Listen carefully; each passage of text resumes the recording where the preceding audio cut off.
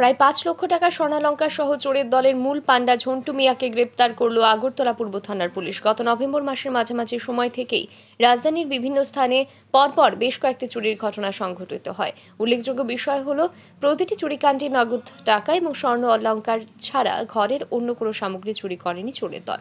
এর থেকে ধারণা করা হয়েছিল যে পৃথক পৃথক চুরিকাণ্ডগুলির সাথে একই দলে চোরেরা জড়িত।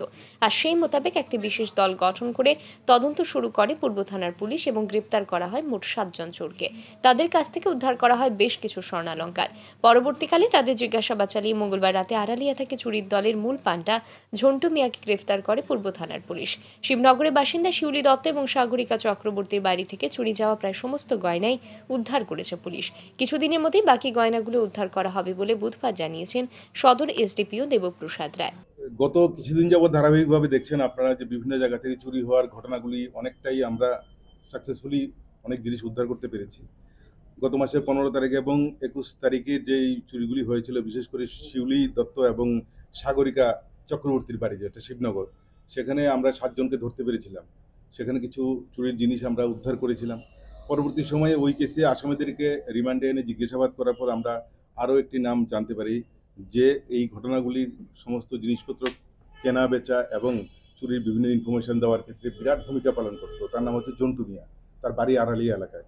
তো গতকালকে রাতে ঝন্টু মিয়াকে অ্যারেস্ট করা হয়েছে।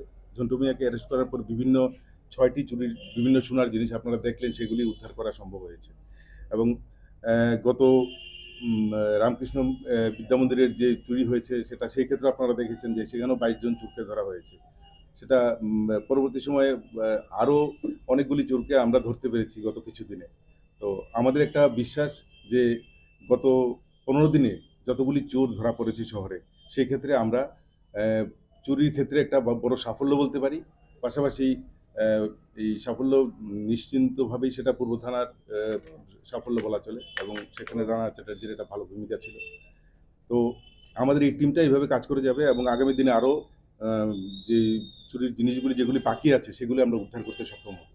আজকের জিনিসটি কতটুকু এবং মার্কেট আজকে যতটুকু জিনিস আছে সেগুলির market value not less than five lakhs এই জিনিসগুলি সব সাগরিকা চক্রবর্তীর বাড়িতে যে চুরি হয়েছে তার মধ্যে কিছু জিনিস বাকি ছিল উদ্ধার হওয়ার। তার মধ্যে এটা একটা শিউলি দত্তর বাড়ি সেটা তার মধ্যে কিছু। মানে মোট কথায় আগের চুরিগুলির কিছু কিছু জিনিস যেগুলো আমরা উদ্ধার করতে মানে সক্ষম ছিলাম না সেগুলিকে আমরা করতে পেরেছি। হ্যাঁ ওই ঝন্টুর কাছ থেকে।